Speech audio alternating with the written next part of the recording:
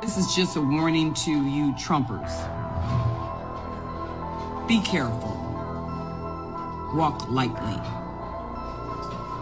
We ain't playing with you. Enough of the shenanigans.